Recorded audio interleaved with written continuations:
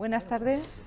Disculpe, pero vamos a dar inicio, ya por la hora que es, vamos a dar inicio a la, a la jornada, a la, a la presentación de los resultados antes que nada, desearles una buena tarde y, agradecerles su presencia aquí en el, en el Scientific de la Universidad de Valencia. Yo soy Christine Sulen, eh, responsable de comunicación y marketing de la Fundación del Par Scientific de la Universidad de Valencia, la entidad que eh, es responsable de este programa eh, cuyos resultados vamos a presentarles hoy.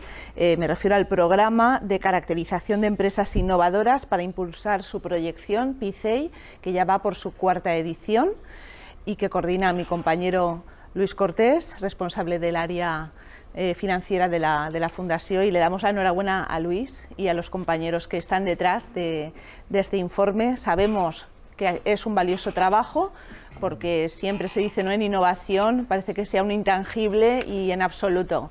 Programas como el PICEI demuestran que es algo tangible, es algo que ya poco a poco yo creo que se va incorporando al ADN de las empresas de la comunidad valenciana y el PICEI es una prueba, es, ofrece una radiografía del estado actual de estas empresas que son referentes y quieren ser referentes del tejido productivo valenciano.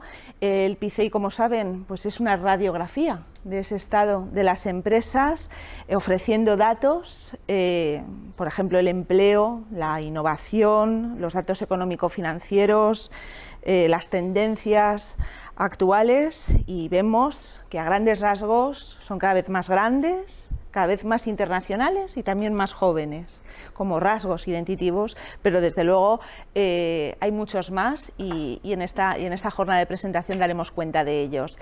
Eh, antes que nada, eh, quisiera pues, excusar la, ausencia del señor Andrés García Reche, del profesor Andrés García Reche, vicepresidente ejecutivo de la, de la Agencia Valenciana de la Innovación es la entidad que, apoya este programa, el programa de caracterización de empresas innovadoras para impulsar su proyección, PICEI, eh, pero tenemos un vídeo de, presentación para inaugurar esta jornada y a continuación escucharemos también la presentación a cargo de Pedro Carrasco, director del Par Scientific de la Universidad de Valencia. Muchísimas gracias y espero que esta presentación les resulte de interés. Pues buenas tardes a todos. Eh, gracias al Parque Científico de la, Universidad de Valencia y de la red de parques científicos que nos ayudan eh, todos los años a poner sobre la mesa el estado de situación de, las empresas y del sistema innovador de la Comunidad Valenciana.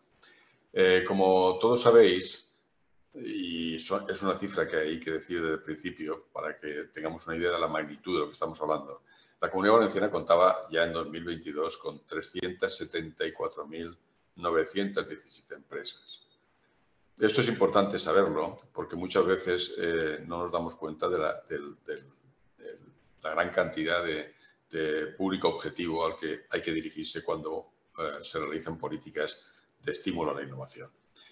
Eh, desde 2020, el número de sociedades activas en esta comunidad, como sabéis, ha incrementado más del 1%, en concreto un 1,15%. Es decir, que la tendencia es positiva, si bien es verdad, como sabéis, pues eh, toda la crisis del COVID supuso un bajón o por lo menos un estancamiento clarísimo en, el crecimiento, tanto en el número de empresas como en la actividad empresarial. Eh, la verdad es que, mm, dicho esto, habría que incidir en una cosa que es ya normal y un hecho muy generalizado, no solo en la Comunidad Valenciana, también en España, que es que todas esas masa de empresas que hemos comentado antes, pues muy poca de ellas innovan. En términos absolutos, efectivamente estamos hablando de casi 2.500, pero claro, eso representa un 0,66% del total de empresas.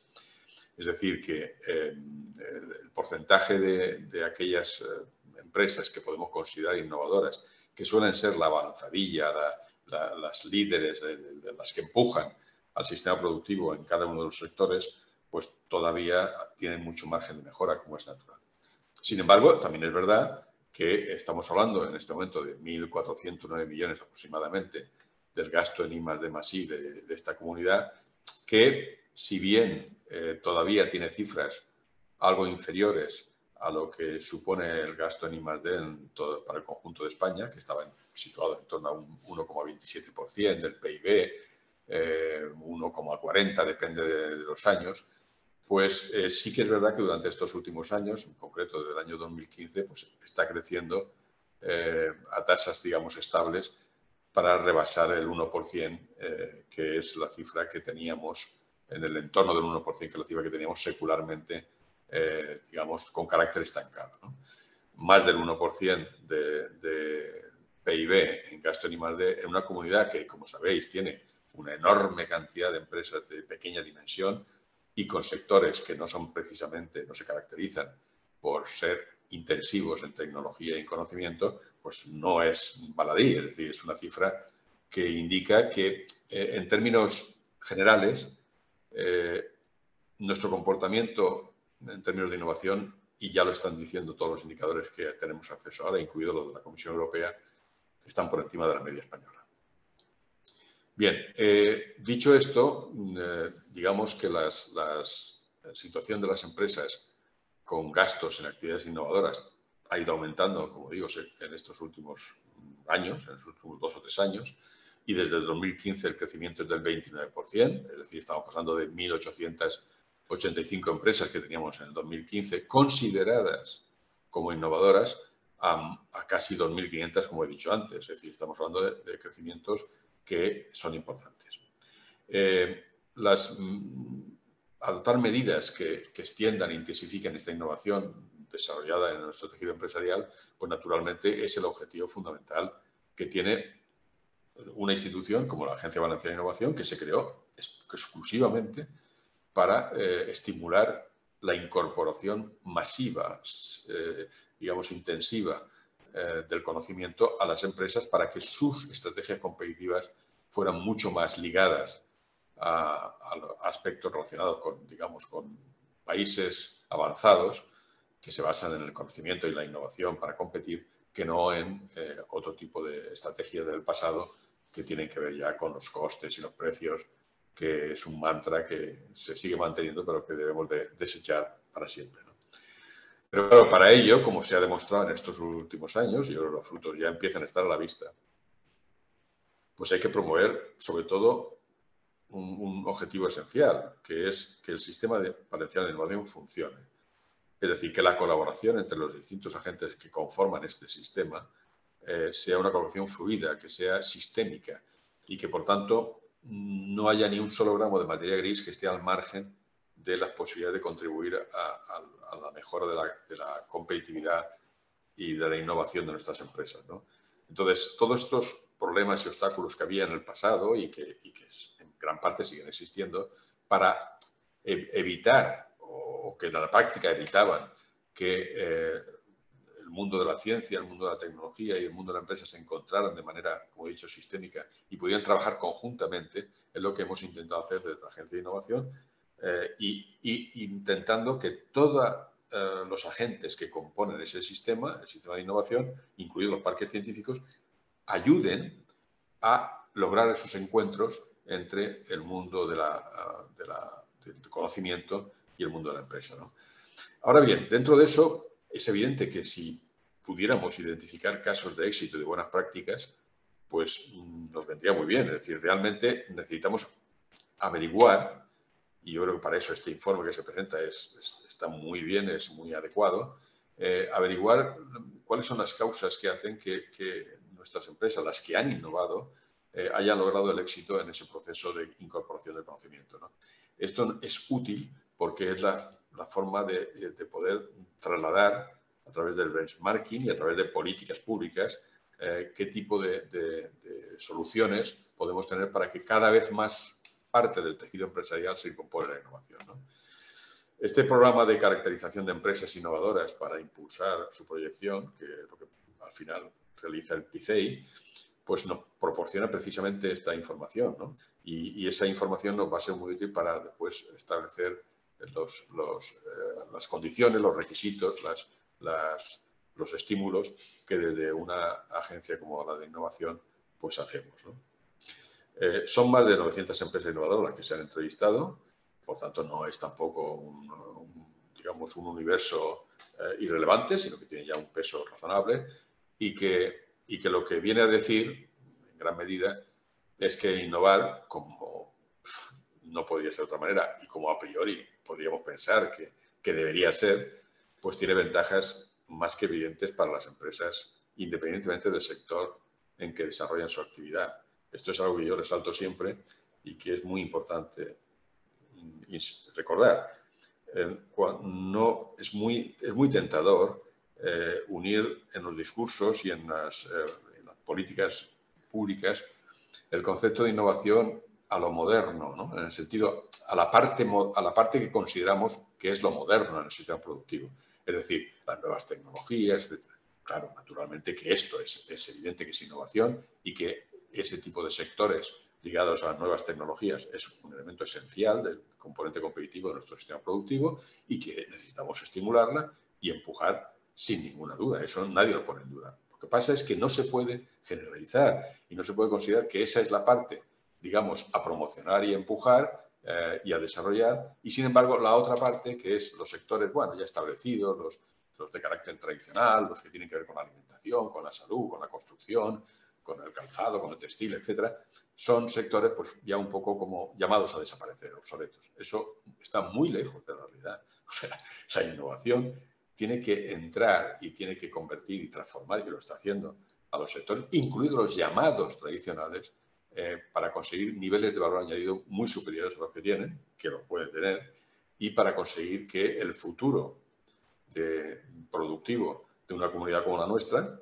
que tiene en gran parte sus raíces en ese tipo de sectores, que han sido ya transformados y que tienen que transformarse mucho más, pues tengan eh, una, estrategia competitiva mucho más consolidada, basada en la innovación y en el conocimiento, y por tanto podamos incluso definir cómo va a ser eh, la forma en que nos vamos a vestir, nos vamos a calzar, vamos a, alimentarnos o vamos a soportar o a mejorar los sistemas de salud. Todo esto hace que la innovación, como se demuestra en este informe, como digo, tenga efectos muy evidentes positivos en cualquier sector de actividad. Para empezar, eh, las empresas que, tienen, que, son más innovadoras están más internacionalizadas, se, internacionalizan con mayor nivel de éxito, eh, crecen más rápidamente, eh, cosa que tampoco tiene ningún misterio, pero hay que recordarlo, la innovación es uno de los elementos principales, de las variables principales que hacen que las empresas crezcan. Cuanto más disruptiva sea la innovación, más crece y más rápidamente crece la empresa. Es muy fácil de entender esto cuando nos damos cuenta que algunos proveedores de las empresas nuestras tractoras, sea el automóvil, la alimentación, lo que queráis, aquellas empresas de cabecera que han lanzado requerimientos de innovación a sus proveedores, y, los proveedores han aceptado. Si uno hace un corte en el año, pongamos 2010, 2015 y otro corte ahora, se da cuenta de que una gran mayoría de proveedores que han aceptado esa innovación y que han suministrado eh, esos productos intermedios a las grandes cadenas o a las grandes empresas tractoras, han crecido espectacularmente. No un poco, han crecido muchísimo. Y han crecido muchísimo porque en el momento en que eh, una empresa, un proveedor, acepta eh, introducir la innovación, mejorar el producto que después la empresa de cabecera va a utilizar y va a, introducir en el mercado, pues naturalmente eso genera una e-, eclosión muy importante. Y luego las empresas que lanzan un, un, producto innovador, nuevo, diferente, pues como ya sabéis, crean su propio mercado. Y claro, crear su propio mercado quiere decir que se hacen con todo el mercado solo para ellas durante un tiempo, es decir, se convierten en una especie de monopolistas, en este caso buenos, gracias a la innovación, que hace que hasta que no lleguen los competidores, pues el mercado crezca muy rápidamente porque es el único oferente hasta que llegan los competidores. Es decir, la innovación eh, no se le presta mucho, a veces mucho eh, atención a este aspecto, que para mí es muy esencial, porque los instrumentos para hacer crecer las empresas, que es uno de nuestros principales problemas, la dimensión reducida, eh, son muy poco utilizables, son poco prácticos. Es decir, no se puede crear por decreto eh, un, aumento del tamaño en las empresas. Sin embargo, ni tampoco uno tiene la posibilidad, aunque lo debe hacer, pero no siempre se consigue con éxito, atraer empresas grandes a la comunidad. Eh, la forma de crecer más razonable, con más, eh, digamos, más arraigada al tejido productivo, etcétera, es mediante la innovación, no quepa la menor duda. Y esto ocurre, es decir, se ve claramente que cuando las empresas innovan más, crecen más rápidamente. Y, por supuesto, resisten mucho mejor los envites de la crisis. Claro, eh, esto tampoco hace falta ser muy inteligente para entenderlo, porque, claro, si uno basa su crecimiento y su, y su competitividad en la innovación y no en el bajo coste de la mano de obra o en el bajo precio, donde el ruido de la competencia es infinitamente mayor, pues naturalmente cuando hay un momento de crisis, eh, digamos, sobreviven aquellas que pueden decir algo diferente en el mercado, no solamente aquellas que están, digamos, luchando por las ventajas competitivas de bajo coste que al final son barridas porque siempre ganan países terceros, como es lógico. Entonces, ¿qué ocurre? Pues nosotros desde el punto de vista de, si hablamos de la administración en general, pero hablando en concreto de la Agencia de Innovación, lo que necesitamos es mantener este marco, de, este marco estable de apoyo a la, innovación. Pero no por la innovación en sí misma, sino por el hecho de que la innovación claramente eh, se ve que es un elemento estratégico mm, de desarrollo de nuestro modelo productivo.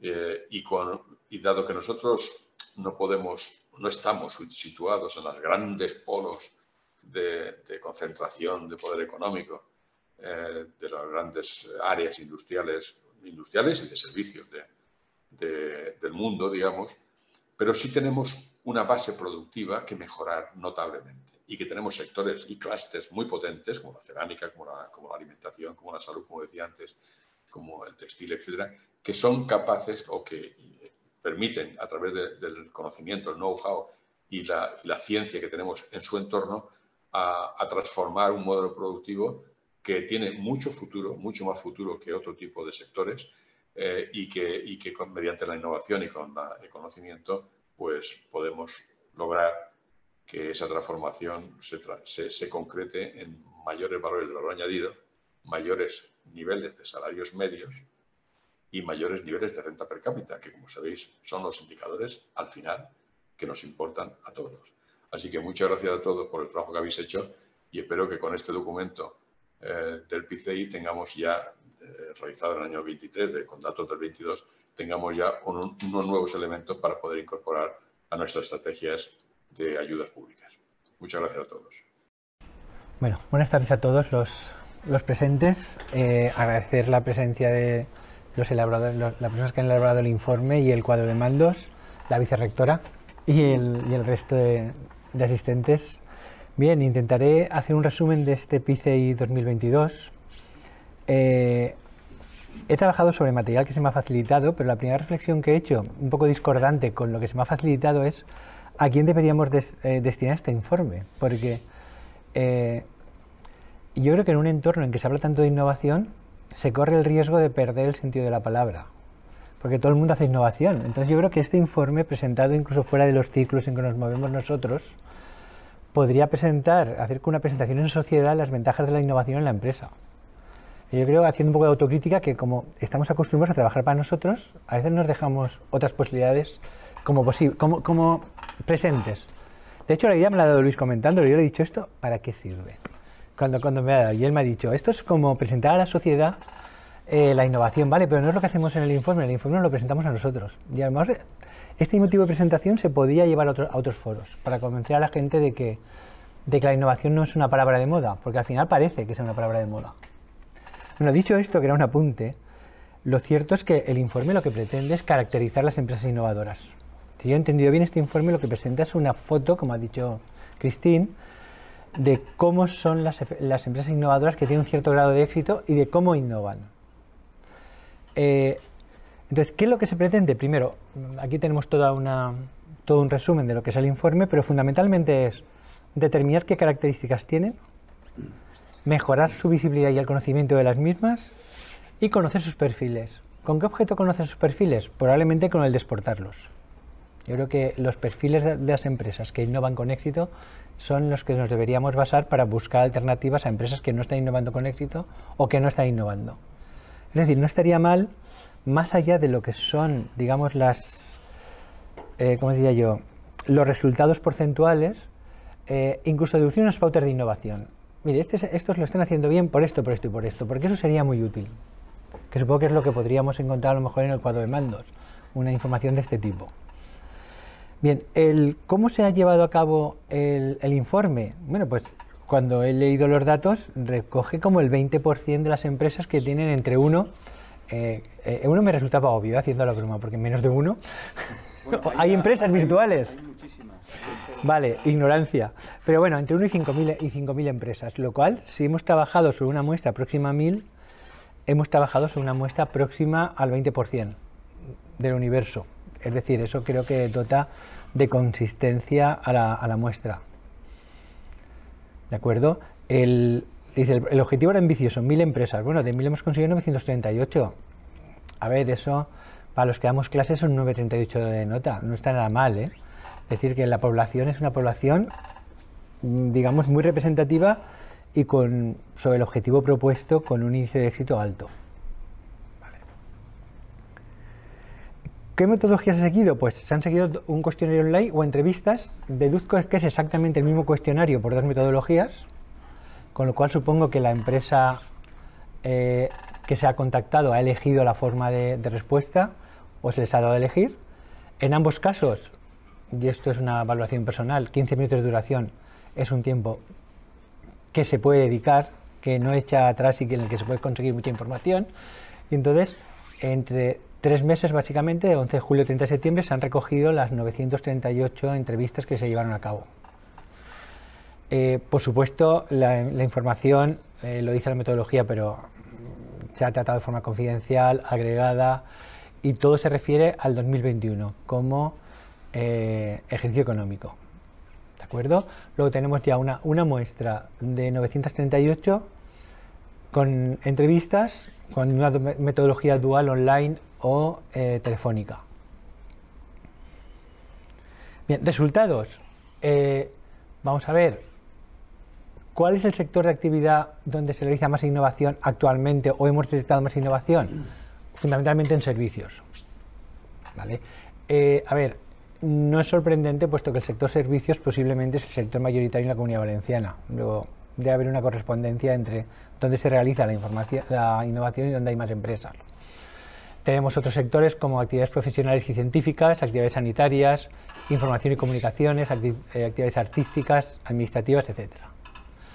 Un sector tan eh, importante, la construcción, la industria, la industria manufacturera. Es otra forma, otra, una clasificación, digamos, eh, alternativa por sectores. ¿De acuerdo? El sector de la construcción y la industria son, dos, son potentes, evidentemente, la industria manufacturera también. industrias, digamos, ¿cómo diría yo? Mm, recién llegadas o que pensamos que son más innovadoras, como yo pensaría de entrada, como los emisos energéticos, la gestión de residuos, vemos que todavía no se han subido demasiado al carro de la, de la innovación, comparado con sectores tradicionales, curiosamente, en, línea con lo que decía Andrés García Reche. Tamaño de empresas. La empresa, digamos, en la mayoritaria de 1 a 5 empleados, o sea, empresas pequeñas de 6 a 9 un poco más, más de 50 empleados apenas el 2% de las empresas. El número medio de empleados alrededor de 10. Eh, bueno, también el tejido empresarial debe obedecer a este, creo que obedece a este patrón. Eh, no, es, no es que lo conozca a fondo, pero yo creo que también de nuevo refleja una correspondencia. Y en cuanto a provincias, el 50% se realiza en la provincia de Valencia, que probablemente es la provincia que tiene un mayor nivel no solo de innovación, sino de empresas e industrial, Alicante y Castellón llevan su 37 y su 11,8%. Desconozco, lo confieso, desconozco si esto está sesgado por la muestra. No sé si... Porque esta conclusión es, peligrosa porque a lo mejor está sesgada por la muestra. A lo mejor hay más empresas de Valencia de Castellón. Eso lo comentarán los autores del informe luego, ¿vale? Pero parece corresponder también con lo que es la, la situación de la comunidad. Perfil de la muestra, facturación hasta 100.000 euros el 28%, de 100.000 a 500.000 el 39%, más de 5 millones el 2,5% de empresas. El 2,5% de, no, de 1.000 deben ser dos, esos son dos empresas sobre la muestra, dos, tres empresas. Lo que tenéis ahí más o menos. Es decir, hay, hay, no hay mucha gran empresa, en lo, al menos en, en, lo que hemos registrado. la antigüedad de las empresas, la mayor parte son, fijaros, empresas noveles, de alguna forma parece que la innovación vaya eh, asociada a la novedad o a la juventud de la empresa, al menos con lo, que refleja la... Entre en los últimos 23 años se recoge más del 60% de la muestra.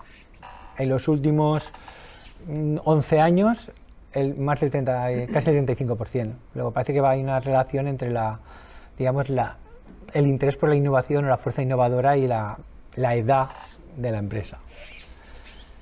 En la mayor parte de las empresas que innovan no son grupos y la mayor parte todavía no están internacionalizadas. Y eso son, eh, claro, me gustaría, lo desconozco, tener el dato de si las empresas que no innovan están más o menos internacionalizadas. Eh, porque de hecho yo creo que uno de los objetivos debe ser la internacionalización. Eh, la forma de la, la, competencia y la competitividad van muchas veces ligadas a internacionalización. Formas jurídicas, la inmensa mayoría son sociedades limitadas. Tenemos luego un reparto más o menos eh, pues, estratificado por diferentes formas de sociedades, pero la forma de sociedad de responsabilidad limitada es la, mayoritaria. Y en los informantes, en el global se observa que han sido directivos o personas con un cargo de cierta importancia en la empresa, incluso el gerente casi en la mitad de los casos. Es decir, que no se ha dejado la encuesta en manos, digamos, de personal técnico o de personal que no tuviera un papel determinante en la dirección de la empresa. ¿Cuál es el perfil de las empresas? de las empresas analizadas, el 64% de las empresas innovan, porque, ¿vale? Y el media de tipos de innovación, esto he tenido que pedir aclaración y por si no estáis familiarizados con el informe os lo aclaro. Las empresas no, informa, no innovan solo de una forma. Entonces se ha definido una serie de tipos de innovación y la media nos dice que aplican de dos a tres formas de tipos de innovación en su funcionamiento, en, digamos en su innovación. Hemos hablado de innovación en productos, bienes o servicios, en procesos operativos, innovaciones sociales, en las políticas de igualdad, contratación, beneficios sociales en la empresa, etcétera, en marketing y comunicación, organizativas, o no hay innovación ninguna. no hay innovación ninguna es el 35. Del 65 que innovan, al menos dos, tres tipos son, eh, son los que ponen en marcha. Y, claro, eh, si se analiza, parece lo lógico porque si se, si se mejora en un producto, se mejora en un proceso productivo, se mejora en la organización. Entonces, es como que un tipo de innovación arrastra a otros tipos. Entonces, pocas, veces, pocas veces la empresa innova solamente en uno de los aspectos. Tipos de innovación y gastos dedicados a I más D más I. El, tema del I más D más I en, las empresas es un tema delicado. Siempre eh, tienen cierta, hay cierta tendencia a buscar colaboración público-privada, subvenciones públicas. Entonces, vemos que la I de interna, ¿eh? eh, investigación y desarrollo interno, copa el 53% de innovación. Y en colaboración con otras entidades, y ahí, por ejemplo, las universidades siempre estamos interesadas en colaborar, apenas el 35% eh, de la innovación de una empresa, de las empresas se realiza en colaboración con entidades externas. Un 22% es puramente I más de externa, se supone por encargo básicamente, y no ha contestado este apartado un 12%. Probablemente quizás no ha contestado porque mm, no utiliza estas vías. Lo, ¿Qué porcentaje se destinan a I más D? Pues el 77,4% eh, que innova destina un 47% de 0 al 5%. 0 al 5% del presupuesto de la empresa es la mitad de las empresas. Eh, de un 6 al 10% ya llegamos al 20%, y que pasen del, del 50% apenas hay un 3%. A ver, normalmente las empresas, su objetivo fundamental mm, en la innovación es una mejora. No, eh, pero desde luego una, media, una media de, presupuesto de un 10% de la empresa de innovación es una media, digamos, de cierta consideración. al menos en lo que creo yo que tenemos como percepción de cómo funcionan las empresas no es... Ayudas a la innovación. Bueno, tenemos las líneas de FEDET y programas nacionales copan el 18%, la Administración Autonómica, Administraciones Locales y Autonómicas del orden del 10%, la Administración Central del Estado un 4%, las instituciones de la Unión Europea un 3% y otras instituciones un 0,2%. El 63% de las empresas no han recibido ayudas. Hay una reflexión también que yo haría, mm, y es que probablemente se puede echar una mano a las empresas a la hora de captar recursos por fondos públicos. Porque realmente eh, mi experiencia con algunas es que o contratan consultores o no tienen armas o no, conocen el sistema como para acceder a fondos públicos. También es una reflexión que se podría hacer como conclusión del estudio. En facturación tenemos que las empresas innovadoras frente a las no innovadoras, hasta 100.000 euros, fijaos que van por detrás las innovadoras. Por poco, pero por detrás. A partir de 100.000 euros, las empresas innovadoras facturan más. Y la media es claramente a favor de las empresas innovadoras. Es decir, en línea con lo que decía Andrés García Reche, que me ha contado la mitad del informe, la innovación supone una mayor capacidad de facturación por lo general. Por lo general. En internacionalización, ventas internacionales, ahí claramente estamos en que las que innovan tienen un porcentaje mayor de ventas internacionales frente a las que no innovan. Y la procedencia de las ventas, normalmente en España es el 93%, las que innovan el 97% las que no innovan. Es, una, es de la vuelta al mismo dato. En realidad la innovación va asociada a más venta exterior. Bueno, este sería el resumen ejecutivo que lo hemos prácticamente detallado, pero fundamentalmente, sector fundamental, servicios, construcción e industria. El tamaño, microempresas, empresas pequeñas, a veces ni siquiera pymes. Cifra de negocio no superior a los, a los 500.000 eh, euros es la, digamos, el dato fundamental, el dato más abundante. El 8,1% son grupos de empresas. Normalmente son grupos, empresas pequeñas. Tendemos a, unas empresas innovadoras de un tamaño no demasiado grande. En la ubicación, y aquí insisto en que me gustaría conocer el sesgo de la, encuesta, da el 50% en Valencia, en Valencia provincia. La antigüedad son empresas jóvenes, fundamentalmente, hemos dicho que el 65% está en los últimos 20 años, el, 35% casi en 10, y luego la forma más jurídica, la, la sociedad de responsabilidad limitada, la SL. Y bueno, yo les invito, les invito a leer el informe con más con más tranquilidad de las que se lo he expuesto y con más datos, porque hay muchos más datos en el informe de lo que hemos sintetizado. Y desde luego agradezco de nuevo a la red de parques científicos y a la Agencia Valenciana de Innovación, a ellos, a la Agencia Valenciana, la financiación del, programa y a la red de parques la participación en el programa que hemos coordinado desde la Fundación Parque Científico de la Universidad de Valencia. Gracias. Vale, buenas tardes. Eh, yo soy Carlos Mínguez de la empresa GFK eh, la idea era, nos ha hecho un poquito de spoiler Pedro, pero bienvenido, bienvenido el spoiler, porque teníamos preparado lo que era todo el desarrollo. Entonces vamos a intentar abreviar y sobre todo explicar el porqué de algunas medidas que hemos llevado a cabo o cómo las hemos desarrollado.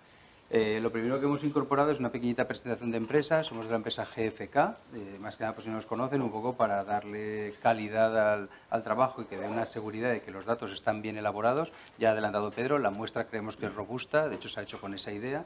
El tener un margen de error del 3,2% nos hace que todos los resultados sean bastante fiables, sobre todo cuando hablamos a nivel global. Es decir, cuando descendemos a una muestra ya más segmentada, el margen de error puede aumentar, pero si no, eh, creemos que es bastante bastante, bastante fiables. Y como presentación de GFK hemos añadido cuatro diapos, un poco para, por si hay gente que no nos conoce.Nosotros somos la segunda empresa, eh, o la cuarta empresa en cuanto a volumen de facturación a nivel eh, mundial. Tenemos una, la empresa que hace unos, unos, 80 años aproximadamente y tenemos una facturación de en torno al billón de, de euros. En lo que corresponde a España, la empresa se creó en Valencia, de hecho todavía es capital valenciano, en un 51%. Eh, tenemos eh, bueno, el 51% el capital de España entero, lo que pasa que es propiedad valenciana. Eh, tenemos en torno a unos 45 años de experiencia, somos unas 300 personas con tres oficinas técnicas, Madrid, Barcelona y Valencia. La central es Valencia, me gusta recalcarlo porque ya hacemos patria. Eh, aunque obviamente el volumen de negocio de Madrid no se puede comparar. Eh, la estructura que tenemos aproximada es que Madrid hace Madrid, Barcelona, Barcelona y Valencia resto de España. Aún así, Madrid es donde está el centro de la investigación de, mercados. Eh, tenemos un desarrollo bastante importante en cuanto a calidad y supervisión de estudios, luego veréis los certificados que tenemos de calidad y hemos puesto como dato un poco más reciente somos la empresa adjudicataria de la medición de audiencias digitales en España. Es decir, lo mismo que ocurre con televisión, el famoso share de todos los programas que ocurren, nosotros somos la empresa, somos el cargo de información para todo el tráfico en la red digital que se produce en España, tanto audiencias de, de periódicos digitales, de páginas web, etcétera. Esto sobre todo eh, es, bastante revolucionario, lo hemos ganado por cuatro años, aunque la idea es que prospere a más años, porque eh, ofrecemos información cada 15 días, hay unos cambios metodológicos bastante importantes en cuanto a la medición de quién entra eh, por el móvil, quién entra por el, por el ordenador y podemos dar una información totalmente referencial para cuando bien las agencias de publicidad o cualquier entidad quiere conocer cuál es el tráfico en la red, cómo se mueve, las audiencias que tienen todas las páginas web, somos nosotros un poco la empresa referencial. Eh, ahora veréis un poco la descripción. En España la empresa se creó en el año 74, desde 1974, es decir, el año que viene cumplimos 50 años. Somos la segunda empresa en cuanto a volumen de facturación a nivel nacional, según el ranking de Insights Mass Analytics, que es la antigua NEIMO, Asociación Nacional de Estudios de Investigación de Mercados y Opinión. Somos en torno a unas 500 personas eh, distribuidas en las tres oficinas y facturamos en torno a los 42 millones de euros. De hecho, nosotros ya en el 2022 ya estamos a niveles del 2019. Ya el confinamiento, mal que cabe, ya para nosotros ya pasó un poco la historia. Y nada, dos diapos más, hacemos del orden del millón y pico largas de entrevistas cuantitativas, eh, tenemos un departamento especializado de estudios cualitativos y hacemos estudios ómnibus en todo a nivel nacional y las únicas dos diapos que me quedan, trabajamos mucho con paneles. De hecho, somos la empresa líder en el mercado de no perecederos en España en cuanto a paneles de distribución y tenemos un panel de internautas de 30.000 personas que podemos trabajar con ellos, son eh, directamente relacionados, es el panel de internautas más grande que hay en España de, de panelistas registrados. Es decir, esto se creó con Coca-Cola que quería dirigir estudios ya con un porcentaje de gente registrada y tal, y que no hiciera la segmentación cuando la gente se incorporaba, para eliminar piratería principalmente. Eh, hablando, por ejemplo, lo que hablaba anteriormente del análisis del consumo digital en España, actualmente tenemos eh, pinchadas a 20.000 personas en España, que lo que nos permite es poder hacerles encuestas, además de estar mirando por observación pasiva todo su funcionamiento en, cuanto al mundo digital, luego les podemos hacer encuestas personalizadas para conocer eh, aspectos concretos de su, de su funcionamiento. Trabajamos para PUM, para TV3 y nuestro panel de Pharma también trabaja. Y ya la última diapositiva de presentación de empresa, como trabajamos un mundo trabajamos todas las metodologías, tanto ad hoc eh, como eh, tanto face to face como telefónicas como online. El tema de la seguridad es muy importante, es decir, aparte de las ISOs propias de investigación, sí que trabajamos mucho los temas de seguridad de la información. Estamos certificados en el esquema nacional de seguridad, que es el requisito más grande que hay en España en cuanto a seguridad y control de la información. Entonces, todas las encuestas que, nos, que nos vienen, tanto se han hecho de forma online a través de nuestro CAWI o a través de nuestro CATI, todo va registrado por Sistema Nacional de Seguridad, un esquema eh, de funcionamiento que nos permite tener total anonimato. Vale, pues vamos a pasarnos un poco a la idea de, sobre todo lo que vamos a hacer, como los principales datos, la mayoría los ha comentado Pedro, la idea sobre todo es contar el por qué lo hemos planteado de esta forma y cómo lo hemos desarrollado el trabajo. Entonces, eh, la metodología en la que hemos ido ha sido empresas de la Comunidad Valenciana, eh, pero empresas potencialmente innovadoras. Es decir, aquellos sectores que considerábamos que no iban a ser innovadores, que puede haber alguna empresa, pero que de forma más o menos habitual no era eh, innovadora, eh, la hemos excluido. ¿Por qué? Sobre todo para no hacer tiros en falso, para no encontrar y hacer un, gaste, un gasto innecesario de encontrarnos muchas empresas que no. Entonces, los principales sectores que hemos trabajado los tenéis ahí, industria, construcción, servicios, profesionales, eh, administrativos, servicios auxiliares, eh, actividades de corte sanitario o artístico. Hemos excluido autónomos principalmente porque no son una fuente directa de personas que innoven. Es decir, normalmente los desarrollos de innovación vienen o bien por departamentos de I+D o por departamentos de propio desarrollo a través de eh, departamentos exclusivos. Es decir, en ese sentido preferíamos el no tenerlo incluido para poder caracterizar correctamente aquellas empresas que tuvieran una potencialidad. Y luego, eh, ¿por qué hemos hecho dos etapas? Eh, la primera etapa que hemos hecho ha sido de 701 entrevistas porque la idea sobre todo era caracterizar cómo eran las empresas innovadoras en la comunidad valenciana. Para eso teníamos que ir un poco, digamos, a, a pecho descubierto, a hacer entrevista a la gente y que la gente nos descubriera si innovaban, si no innovaban. Luego veréis en la presentación cómo eh, determinábamos la empresa que era innovadora o no. Marcábamos una serie de ítems y aquellas que cumplían alguno de esos ítems era innovadora, aquella que no cumplía ningún ítem la podíamos separar. ¿Qué nos permite esto? Esto lo que nos permite también es un perfil de cómo son las no innovadoras para poder compararlas con las innovadoras. Luego lo, lo podéis ver.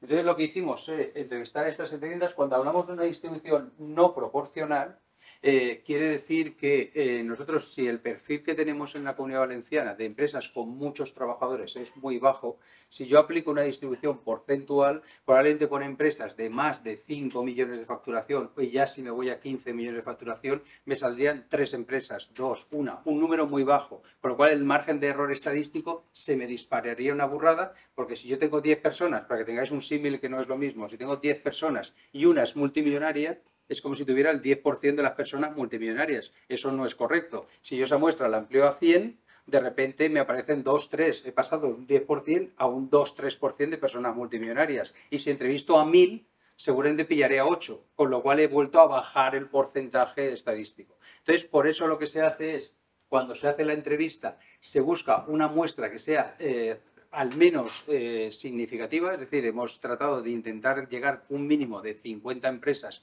en cualquiera de los estratos o segmentos que hemos hecho, con la idea de luego, cuando tenemos esa, esa información que tiene peso, que es consistente porque tenemos bastante muestra, luego lo que hacemos es a esas respuestas sí que les damos el peso que tienen en la realidad de la economía. Es decir, si lo que han contestado esas 50 empresas representan al 2% de la sociedad, sus respuestas se computan luego como un 2%. Por ahí viene la ponderación pero pensamos que es mucho más interesante porque así a cualquier sector o cualquier segmento que estemos hablando tenemos una fuerza de decir, ese dato es consistente, no es que si hay un 2% eh, entrevistado solamente a las 5 que corresponden, sino que verdaderamente entrevistado a 40, pero es que tienen el peso del 5%. ¿Entendéis un poco la, la idea?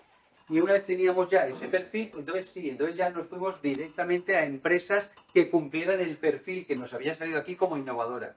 Aún así, nos han salido de 237, 214 que sí, que sí, pero 237 que no cumplían ese perfil, que las hemos englobado en no innovadoras y hemos eh, adjuntado las 214 con las que tenemos, con lo cual tenemos un total de 938 empresas que están registradas eh, correctamente con una muestra eh, fuerte y que nos permite dar la información que, que queremos buscar, ¿vale?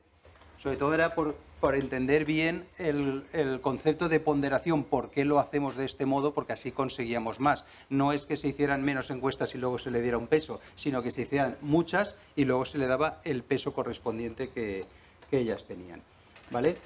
Combinar dos metodologías. ¿Por qué las dos metodologías? Simplemente era por la idea un poco de poder abarcar el mayor número de entrevistas. Entonces, si tú empiezas con una encuesta online que lo lanzas a todas las empresas que tengas en una base de datos, las que te contestan ya son encuestas que tenemos y el coste es más económico que coger luego y llamar una por una telefónicamente para llegar. Pero como sí que teníamos que llegar a un número mínimo, pues la idea fue utilizar dos encuestas. Hicimos comparaciones para ver si los datos eh, tenían una significatividad estadística y si había una coherencia de datos. Es decir, nosotros ya llevamos mucho tiempo que las metodologías ya no se produce una variación de datos en función de qué estemos analizando. Aún nos pasa cuando entrevistamos a población general, es decir, pero ya cada vez el ratio es mayor, ya estamos casi en 70 años el, ver comportamientos diferenciados del online respecto al, telefónico o el personal. ¿Por qué? Porque las generaciones van subiendo y ahora ya la gente con 70 años prácticamente se mueve cómodamente y se mueve bien en el mundo online. Más mayor ya empezamos a tener problemas, por eso es donde actualmente eh, solemos eh, cortar el tema. Margen de error de confianza del 3,2%, lo dicho, cuando hacemos datos globales, si yo digo que hay un 50% de empresas que hace esto, es el 53 o el 47. Otra cosa es que yo luego coja y diga, segmento, ¿cómo segmento? Valencia, Alicante, Castellón, ahí el margen de error ya aumenta porque ya la muestra, el volumen es más bajo, pero ya estamos un poco en lo que consideramos. ¿vale? Eh, nada, esto es la explicación. Eh, disculpad, pero hemos intentado hacerlo lo más corto para luego extender todo. La explicación para que veáis exactamente la ponderación cómo, cómo será hecho. Entonces, por ejemplo, aquí es la muestra más evidente. De 50 o más empleados habría correspondido hacer 14. pero verdaderamente hemos hecho 49 con esa idea. Pero luego su peso sí que ha sido de 14. Es decir, luego el peso de lo que representan en la sociedad empresarial eh, valenciana sí que han cogido el peso que verdaderamente les corresponde. Y eso lo hemos hecho con todos los sectores. Si veis, cuando hablamos de sectores, las cifras son muy aproximadas. Encuestas por provincia, como eso lo tenemos registrado por el INE, pues lo que hacemos es verdaderamente hacer un número muy similar de las encuestas que hay que desarrollar. Pero ya en temas que normalmente nos los encontramos por encuesta, costaba un poquito más el poder hacerlo, porque hay que ir la palabra no es improvisando, pero hay que ir adaptando los resultados para luego el trabajo que tenemos que, desarrollar. Estos datos los podéis ver ya a nivel agregado. Las otras eran de las 700 iniciales y estas son de las 938. Para que podáis ver las diferencias de, pues, eh, por ejemplo, con número de empleados, con todo, cómo va ajustándose más. Y como aquí ya hemos ido a incorporar empresas innovadoras, o al menos potencialmente innovadoras, esas ponderaciones ya se igualan bastante para las cifras que estamos buscando y lo que queremos encontrar. ¿vale? Perfil de la muestra, eh, lo ha explicado Pedro, aquí la idea es, estos tres eh, sectores, esto está fiel a lo que nos dice el INE o el DIRCE, que es donde hemos cogido, que es la transmisión que luego nosotros hemos hecho para llevar a cabo la distribución de las entrevistas y tenerlas. Pero eh, para poder seguir segmentando y poder seguir trabajando ya con respuestas, porque nosotros lo que podemos hacer es luego, en función de lo que nos responde la gente, poder separar. Es decir, eh, empresas innovadoras, no innovadoras. ¿Cómo lo hago? Las que en la encuesta me han contestado que son innovadoras, las clasifico, las pongo en una cabecera y las que no, las pongo y les vuelvo a ver los resultados de todo el cuestionario. Entonces, el resto de perfiles ya vienen derivados de resultados de la, de la, encuesta. ¿Por qué? Pues porque yo la antigüedad a priori no puedo saber. Tengo que hacer una pregunta filtro de dime qué antigüedad tienes, si no, no lo puedo saber. O incluso la facturación o incluso la forma jurídica. ¿Por qué contamos este perfil de la muestra? Porque luego todas las tablas estadísticas, que hay algunas, luego mi compañera María Ángeles detallará algunas, pero todas esas tablas estadísticas lo que hacemos luego es segmentar toda la información. Es decir, todo el cuestionario que ha contestado eh, empresas que tengan una antigüedad de, de 1990, de 1991 hasta el 2000, etcétera, para ver exactamente si hay comportamientos diferenciados en función de cada uno de los segmentos que hemos utilizado. Antigüedad, facturación, forma jurídica, tipología de empresas, si venden o no a nivel internacional, eh, si en función de que el que nos cuenta, porque cuando hablamos de informante quiere decir la persona que nos ha respondido. Ahí sí que utilizamos una pregunta filtro, es decir, cuando nos ponía un administrativo, un administrativo nosotros mismos eliminábamos la, la encuesta en los filtros de calidad. Pero sí que era interesante conocer si había diferencias de comportamiento o de respuesta en función de quien diera esa información. Luego, eh, ahora lo veréis en la siguiente diapositiva, ahora cuando mi compañera María Ángeles presente un poco algunos datos, eh, sobre todo en las tablas estadísticas, veréis que aparecen datos en color azul y en color rojo.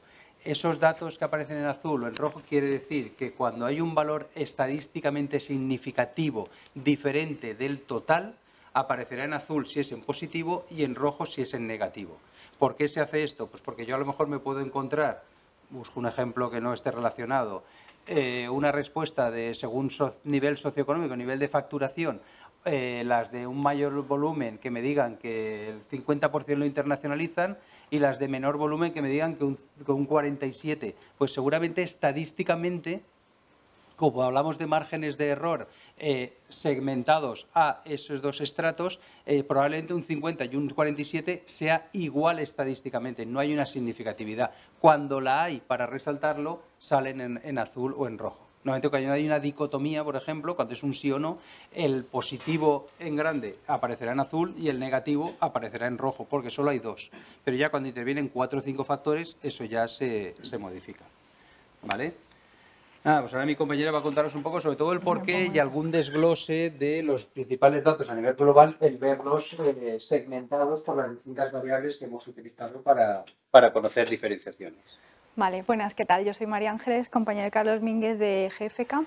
Había una duda, ¿no? Que decíais, ¿cómo eh, separamos las innovadoras de las no innovadoras? Pues a esas 938 empresas que hemos comentado les hemos pedido que se eh, les hemos preguntado, ¿realiza o ha realizado su empresa alguno de estos tipos de innovación? ¿Alguna mejora? Bueno, pues en productos, en procesos, a nivel eh, social, en marketing, etcétera, etcétera. Y ellos han sido, estas personas gerentes responsables, las que han dicho, esta sí, esta sí, o no, no hacemos nada de esto. Entonces, el 64,7% de las empresas encuestadas innovan. Más allá de las que tengan un sello, un cuño, o sea, es que hay empresas que están realizando innovación y te lo dicen, aunque no esté registrado por decirlo así, ¿vale? Entonces, esto que nos permite separar, por un lado, eh, las empresas innovadoras y no innovadoras. Eh, y esto que nos da, pues las diferencias un poco de perfil, pues para ver eh, pues esto, eh, en qué se diferencian. Como hemos comentado, el tema de los colores nos ayuda a leer. Entonces, ¿qué, vemos? Que son, em, pues son empresas más grandes, las empresas que innovan. En cuanto a, nivel de empleados, de 6 a 9 en adelante están saltando significativamente. También en nivel de facturación están en los porcentajes más elevados de facturación, que también que vemos pues que son empresas que están en mayor medida internacionalizadas, un 22,4 frente a un 11,2 de las que no innovan, eh, y luego pues también vemos que eh, las que están ubicadas en la provincia de Alicante pues destacan significativamente en esta innovación. ¿Vale? Y luego pues les hemos hecho una serie de preguntas que ya hemos visto únicamente a las que son innovadoras.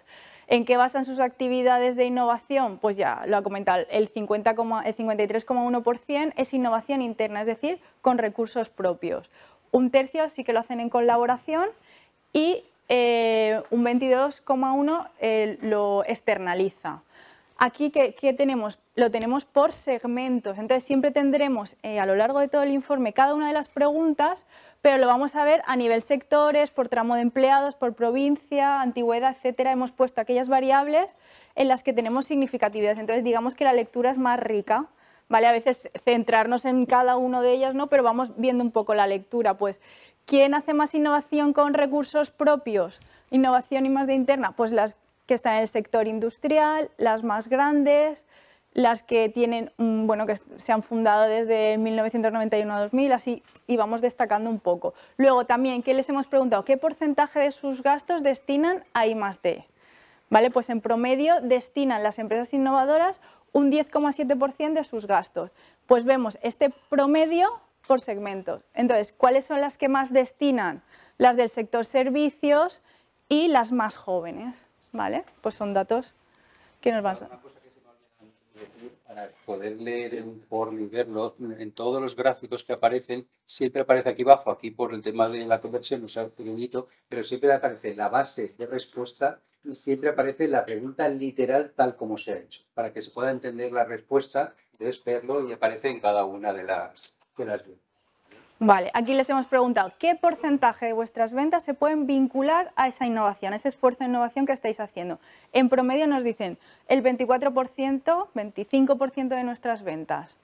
Vale, entonces al verlo por segmentos, ¿dónde aumenta este porcentaje de ventas ligado a la innovación? En el sector servicios, en aquellas empresas que están internacionalizadas, en las más jóvenes también en las que hacen innovación en colaboración con otras entidades y en las que destinan un mayor gasto a innovación. ¿Vale? ¿Y ha recibido ayuda su empresa para, la innovación? Eh, bueno, pues esto ya, lo habíamos visto, ¿no? Un 26,6% nos dice que sí, pero un 73,4% nada. Entonces, ¿cuáles son las que más han recibido ayudas? Eh, las que están en el sector industrial, las más grandes, pues también entiendo que, tienen más recursos ¿no? para contratar a alguien que les pueda ayudar en toda esta gestión y demás. En la provincia de Castellón parece que han sido más agraciados con el tema de las ayudas, más jóvenes y bueno, pues las que realizan un tipo de, innovación en colaboración y, y gastan más en innovación. ¿Vale? Luego aquí abordamos ya la, actividad, la eh, tecnología, tipo de propiedad intelectual y o industrial. Estas preguntas se hacen tanto a empresas innovadoras, que son las rojas, como las no innovadoras, que son las rosas. Y entonces así vemos un poco eh, cómo varía este perfil. Que esto es una batería de áreas de actividad que le decimos, a ver, su empresa, eh, su actividad guarda relación con alguna de estas áreas que son potencialmente innovadoras. ¿Qué vemos? Pues vemos que las innovadoras están más presentes, tienen más penetración en este tipo eh, de áreas de actividad, a excepción de medicina y salud, que están parejos. ¿Vale? Luego, tipo de tecnología utilizada, pues igual, se le presenta una batería de tecnologías eh, que también son potencialmente innovadoras y del mismo modo vemos que las, empresas innovadoras pues están más presentes a nivel general en, todas estas eh, tecnologías, las principales que salen, Internet, el Internet de las cosas, el Internet of Things y la computación en la nube. Vale. Y luego, propiedad intelectual y o industrial. Eh, ¿Posee su empresa algún tipo de, protección de, esta propiedad intelectual y o industrial? Mira, aquí sí que vemos significativamente el 50, más de la mitad de las que innovan tienen, frente a un 28,4.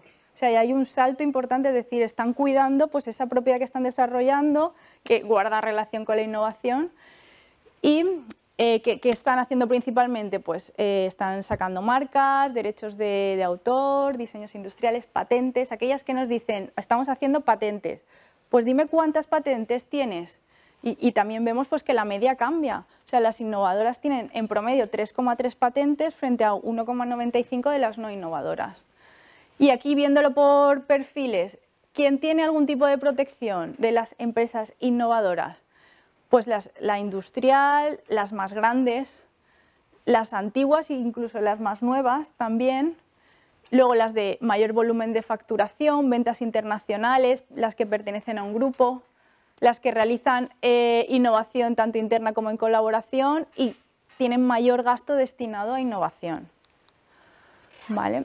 Y aquí pasamos a caracterizar la empresa por tipo de ubicación, tipo de cliente y si es individual o, forma parte de un grupo y lo vemos en relación a las no innovadoras. Entonces, en cuanto a la ubicación, aquí, por ejemplo, no tenemos saltos significativos de, las innovadoras versus no. O sea, 7 de cada 10 empresas están ubicadas en instalaciones propias eh, en un espacio donde no se agrupan otras empresas.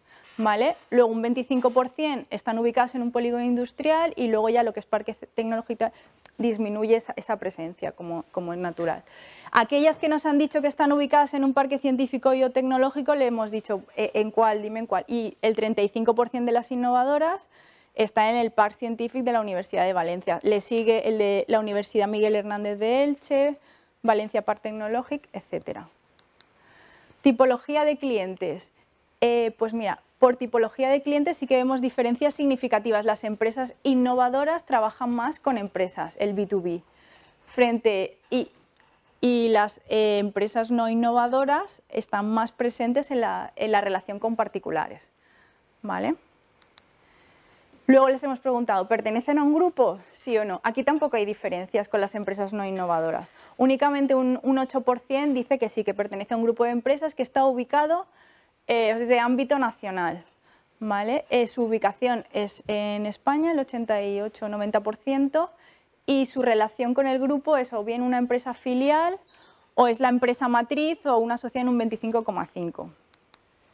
Y luego ya pasaríamos a los datos económicos financieros. Eh, el volumen de facturación, que también lo habíamos visto, y aquí la verdad es que es muy significativo. Las empresas innovadoras es que están facturando un 80% más que las no innovadoras. yo creo que es un dato importante. Y por segmentos, ¿cuáles facturan más? Pues eh, las que están en el sector industria, las, obviamente las más grandes a nivel de número de empleados, las más antiguas, eh, las que tienen ventas a nivel internacional y pertenecen a un grupo de empresas. Bueno, luego preguntamos, eh, ¿está internacionalizada su empresa? Y aquí vemos diferencias significativas entre las innovadoras versus no. El 22,4% de las innovadoras dice que sí, frente a un 11,1% de las no innovadoras. ¿Y cómo se distribuyen sus ventas? ¿Vale? yo estoy presente en otros países, pero bueno, al fin y al cabo el grueso está en España, ¿vale? El 93% de, de las ventas se queda aquí. Y luego los tipos de financiación, pues también les preguntamos. En los dos últimos ejercicios, eh, ¿consiguió su empresa financiación a través de alguna de las siguientes opciones?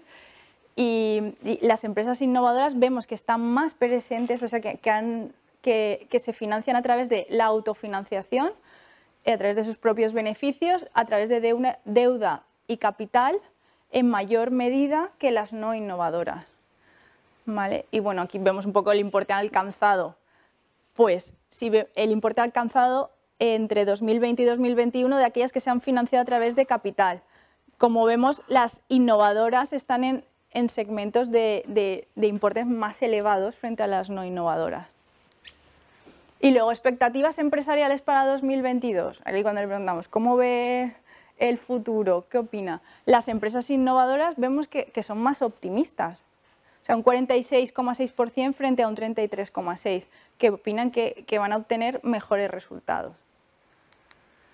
Aquí, en cuanto a aspectos, recursos que consideran importantes para, el crecimiento de su empresa, vemos que, la estructura es similar para todas las empresas, siendo los dos primeros aspectos eh, afianzar o mejorar el equipo de trabajo y aumentar la notoriedad y reputación.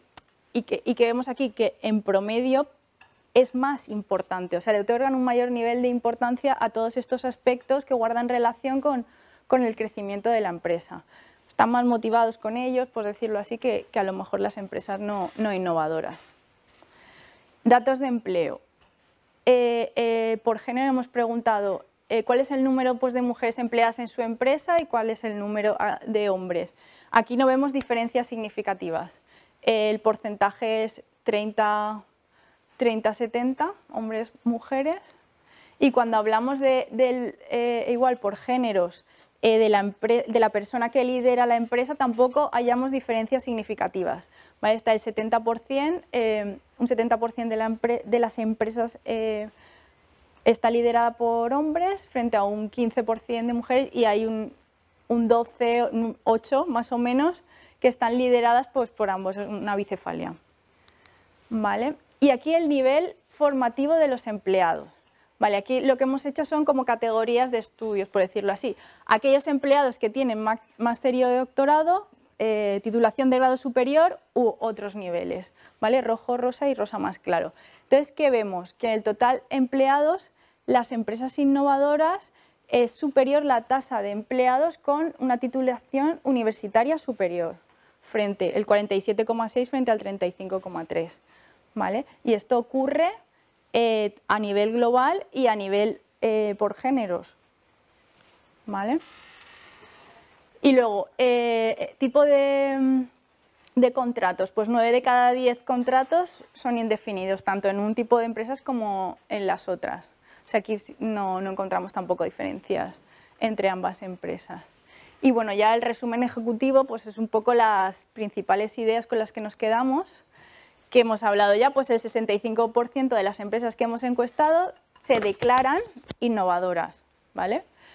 Em, se dirigen principalmente esta innovación a productos, bienes o servicios, el 44,4%, o procesos operativos, que esas son las dos principales, que es un 42,5%, pero también en un, en un segundo nivel señalan innovaciones de carácter social, marketing y publicidad y organizativas.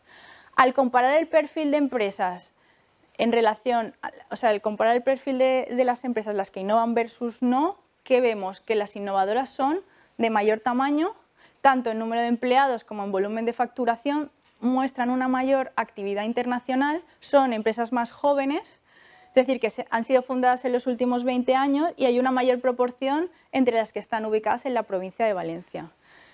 La mayoría, ay, perdón, en la provincia de Alicante, la mayoría, el 53,1, eh, realizan eh, I D a nivel interno con recursos propios. ¿vale? El porcentaje medio de ventas relacionados con innovaciones lo sitúan en, un, torno a un 25%. El 26,6% eh, declara haber recibido ayudas eh, o financiaciones públicas para, para innovar. ¿vale? Y el 73,4% no recibió ninguna. El 92, la gran mayoría, no pertenece a un grupo de empresas, únicamente un 8%, que es principalmente de, origen español. Bueno, y el, mejorar el equipo de trabajo y, aumentar la notoriedad y reputación son para las empresas innovadoras y para las que no, que ya lo hemos visto, los aspectos más importantes a la hora de crecer. Y aquí en esta lo que he puesto son un poco las diferencias. Eh, en comparativa con las no innovadoras, las innovadoras destacan por qué. Pues por un mayor uso de las tecnologías innovadoras, así como están presentes en, áreas más innovadoras. lo hemos visto ahí que la penetración era superior. Luego, la mayoría, esto sí, esto sí que salta y era muy significativo, tienen algún tipo de protección de propiedad intelectual y o industrial. Y el número medio de patentes es superior, es un 3,3 frente a un 1,9 de las no innovadoras.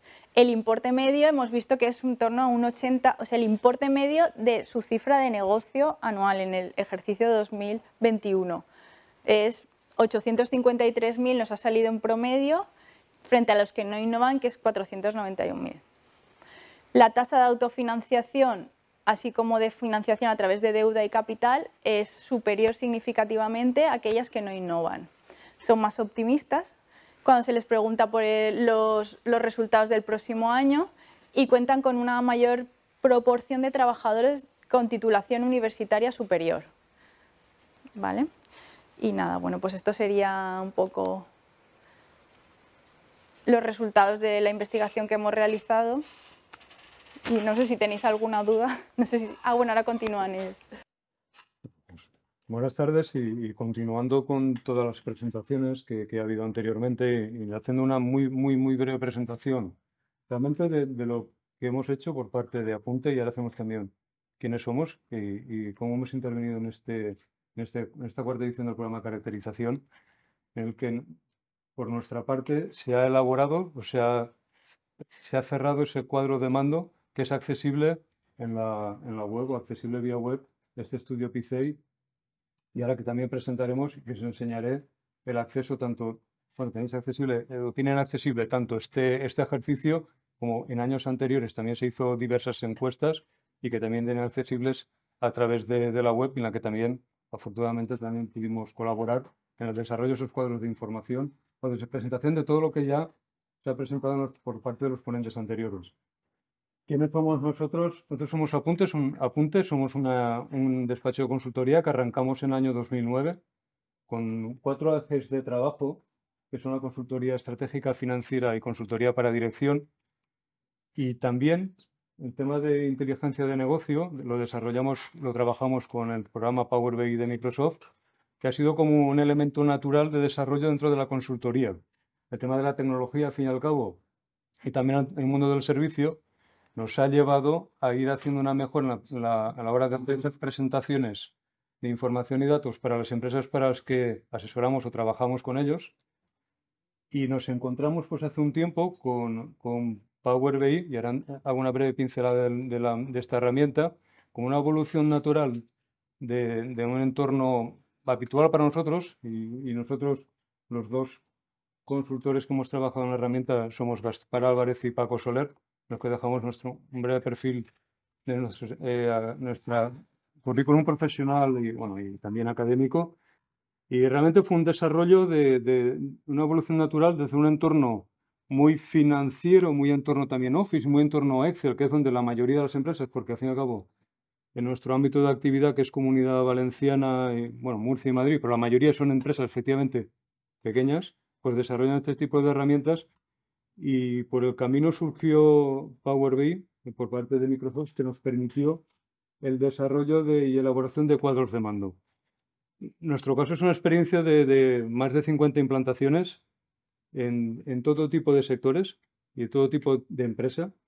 Y al final lo que hace la, herramienta es recoger datos para presentarlo de una forma amigable. Es decir, los datos, sobre todo que sean robustos, pero además que sean fáciles de, de leer, sobre todo cuando los eh, compartes con empresas, con organizaciones y que de una forma sencilla eh, los usuarios vean los principales, bueno, eh, como dicen en inglés, que no me gusta mucho, pero bueno, los KPIs, los principales indicadores clave de seguir en su organización.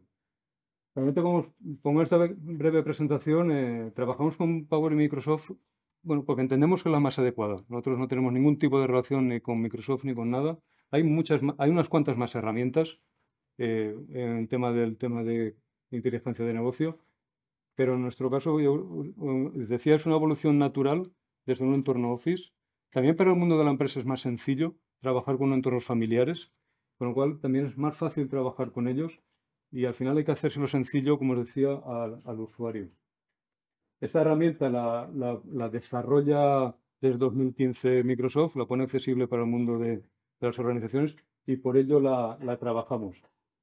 Y la trabajamos y lo hicimos. El, trabajo que fue a finales del año 22, después de cuando cerrasteis ya todas las encuestas, y trabajamos con los datos que, que elaborasteis, pues, Carlos y, y María Ángeles, eh, con cuatro, cuatro etapas. Una, la conexión de, de los datos que generaban en, en tablas Excel, que es como leímos, parametrizamos lo que son esos datos para hacer luego la presentación de una forma adecuada, sobre todo buscando también una elaboración de cuadros visuales sencillos de, de navegar o, o, de, o, de, digamos, de tocar a la hora de la presentación. Y pensando además que lo hacemos en un entorno web donde no estás con el usuario y tienes que hacerlo de una forma eh, sencilla.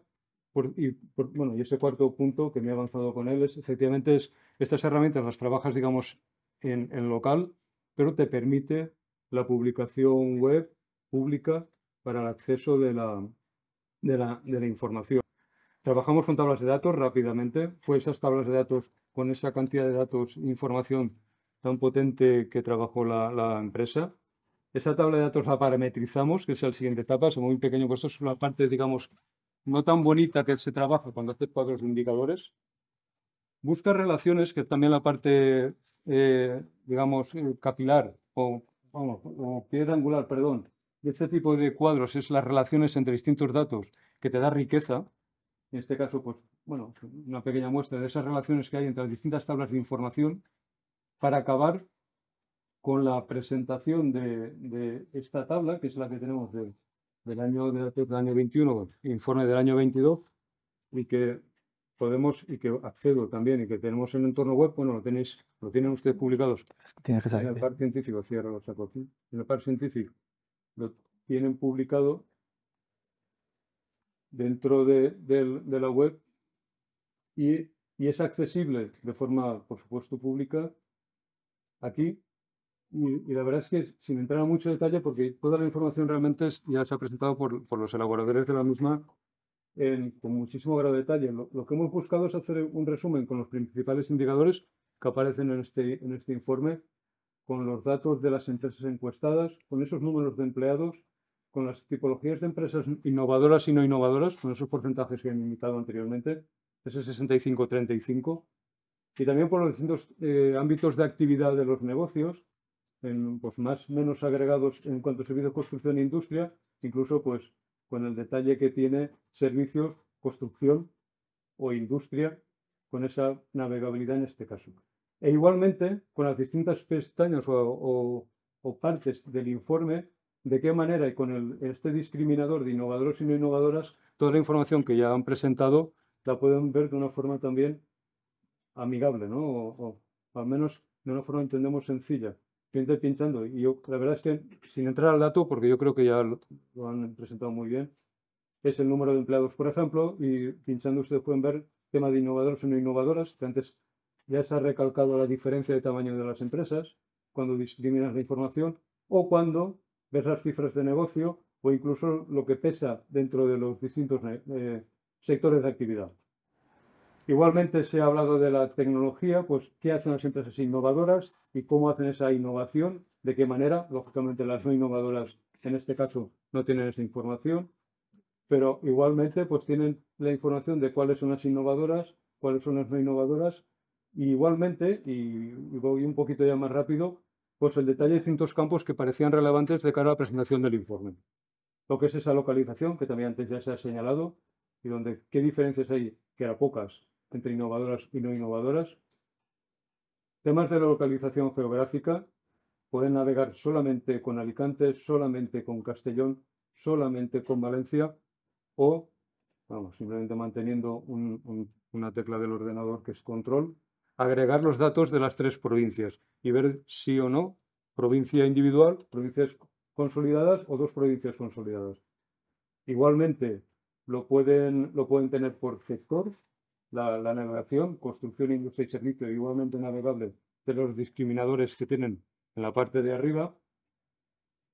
También en cuanto al, número de empleados, y, si quieren, pues hago una pequeña navegación, porque, aunque se ha presentado el dato, y es verdad que este cuadro, este trozo de innovadoras verde, pues va variando conforme va cambiando el número de empleados que tiene las empresas de las que se han recogido las muestras y se ve como efectivamente va creciendo conforme han indicado. y podemos tomar los datos globales de lo que es la muestra, que volvemos a ese 65%.